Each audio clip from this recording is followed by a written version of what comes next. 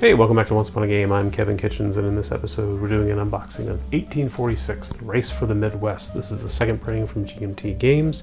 This one's designed by Tom Lehman, who you know as the designer of uh, many other wonderful, wonderful games uh, Race for the Galaxy and uh, uh Suburbia and Subdivision. And so he's brought his, his talent to the 18XX series with GMT. Um, this is not, unfortunately, most of Tom Lehman's games do have solo compatibility. Uh, this one does not. Um, hopefully that means that's something that will be rectified in the future. Um, but there are no plans for that. I'm just, that's just wishful thinking on my part.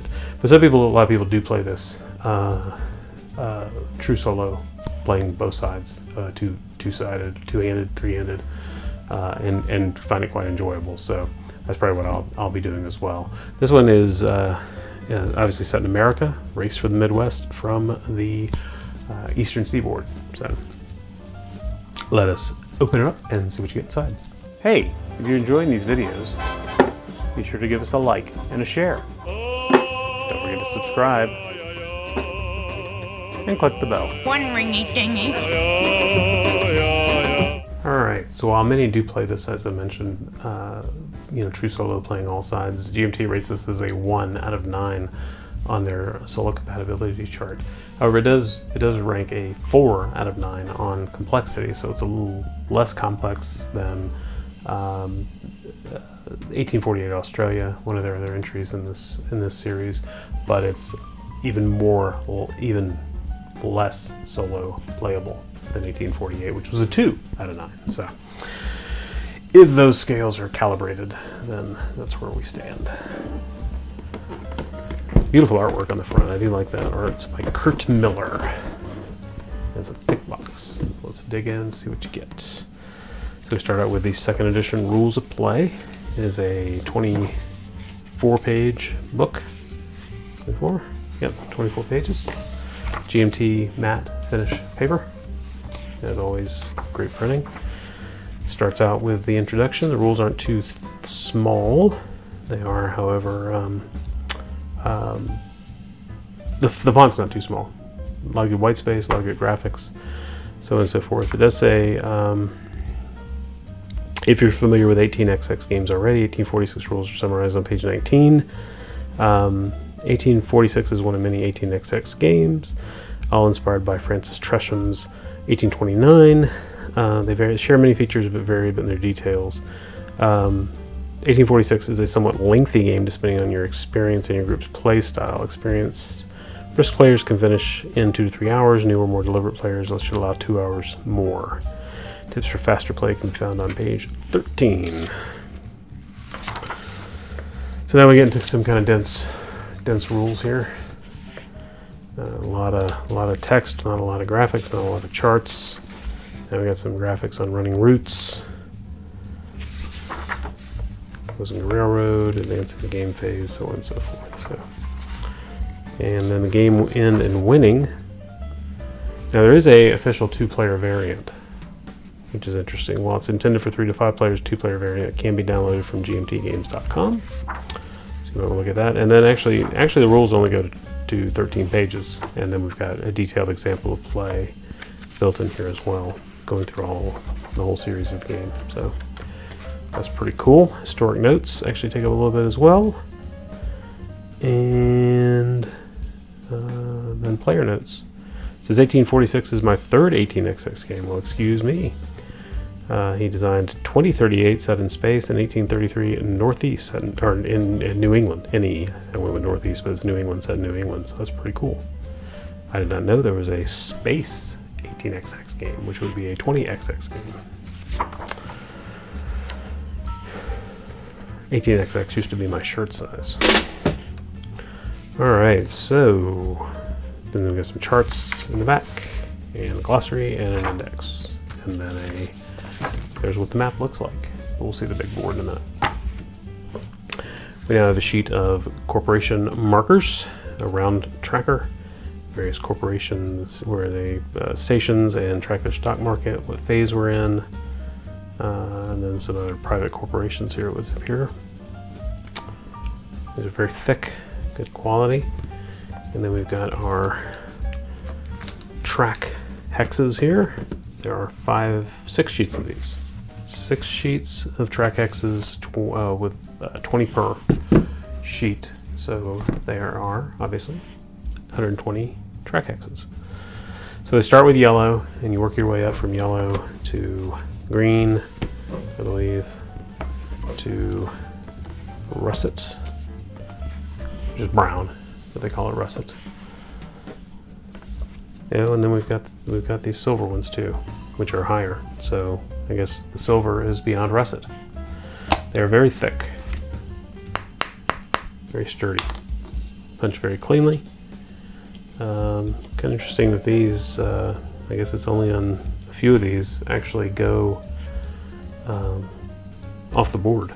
Your station markers are going to go off the board, but I guess if you're placing them next to another one, it's it's going to be there. But they normally go on this, so it's not enough where it's going to fall off, it's interesting they couldn't get it all on there. So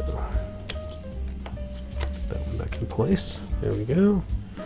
And then we've got this the big game board, and we'll take a look at that in a minute. Separately. And then we've got our money. We've got and the money here is not paper money, it's it's paper, but it's very thick card money. So it's not card stock, it's just shy of card stock. And you got your singles, twos. These are dollars, not pounds like some of the other games are. Depends on what country you're playing in.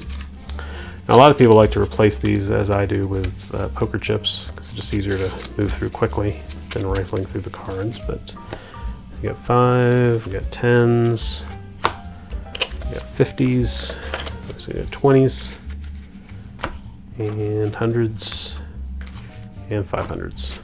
So the only thing that's really changed is that these are dollars versus pounds from other games in the series. And in this one you get a bag of bags to store your track tokens, track counters. And then we've got various cards. These are going to be your stock certificates. Uh, there's no need to open them. They're basically the same for each uh, each of the companies. You have a president certificate, which is two shares of 20, and then eight more, giving you a total of 100% in a company. And each of the companies has an identical set. And then we'll see what these are. So, got some player cards here that say choose these if you don't want to purchase a private company. It's interesting. There's five of those, one for each player. Priority deal marker, and the private companies you can bid on at the beginning of the game. Lots of those, and then we got various trains that you use working your way up. And for instance, this train, the Big Four, this uh, will be phased out in the russet color and removed in the silver. And the, and the, and the phases increase yellow, like I said, yellow, green, russet, and then obviously silver after that. So trains will stop being used. They only last so long. And then you, then you get to permanent trains. And then here's another set of stock stock cards to go with those stock cards. And then last but not least, you get the companies. Baltimore and Ohio Railroad is a operating company that you would want to run, and you'll get a uh, charter card for that company, which will let you store the money for that company, the trains that they own, your stations, so on and so forth. So we have Baltimore and Ohio, Chesapeake and Ohio, the Erie Railroad, the Grand Trunk Railway. And I will, I will note that they are they are asymmetrical. So like this one has four, and that's how much its trains cost. This one has four, and uh, stations cost. That's how much its stations cost. This is four. This one only has three. This one has four. That Grand Trunk or Grand Funk? New York Central. And there's one more here, the Pennsylvania. No Reading Railroad. No B&O Railroad. And no I can't remember the fourth one. It was so long since I've played the wonderful game of Monopoly. All right, so let's take a look at that uh, that game board. And it is a it's a relatively small board. It's only six panels, so it uh, you know folds up pretty easily there, and uh, uh doesn't take up a lot of table space. Uh, we've got our stock market value track here. Um, earnings per share, update each operating round. You got an earnings track. Your stock market is here, telling you how to, your, to manage your dividends. Rules reference sheets here. Um, your rules for the different phases. Like I said, yellow, green, russet, and silver. And then this is your map where you're going to place those train, um, excuse me, those track hexes throughout. And interesting here is some of them already have uh, track laid on them. They start out with some track Erie, and then these two companies start there. It's on Monica, and you got these off-board areas that you can deliver to as well during certain phases. So that is pretty cool. Oh, look at that. It's got a little automatic U-turn on there. So you put the track there, it's got to go to that. It comes back into there. All right. So that is the board that you're going to get with 1846. Let's do a quick recap of everything that you get in the box. All right, so if you pick up a copy of 1846, The Race from the Midwest by GMT Games, you're going to get these, uh, the uh, stack of uh, company charters. You're to get the share cards, the train cards, and the private company cards. Bag o' bags, Big stack of paper money for uh, doing all your wheeling and dealing.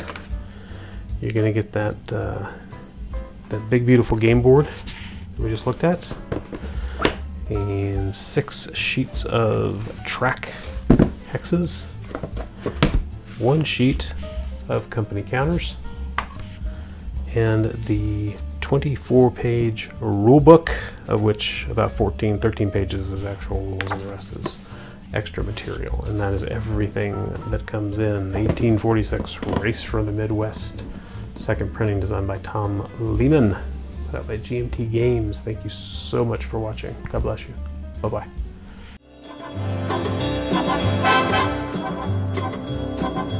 Oh!